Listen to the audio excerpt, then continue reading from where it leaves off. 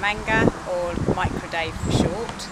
Um, we called him Micro Dave because his dad is Little Dave, and my husband is David, who I bought Little Dave for. And he was probably about 14 inches at birth, and he's grown to about 18, 19 inches now. He's the most precocious foal I've ever met. He's just a hooligan in all, he's like a naughty spoilt child. When I get mummy into bed, he gallops around the yard for 20 minutes saying, I'm not going to bed, it's not bedtime yet.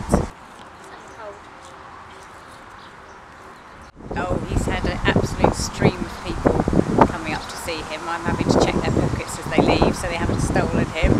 Um, he's had a, a, big page in the Horse and Hound website, he's had a big page in the vet's website, um, he's had New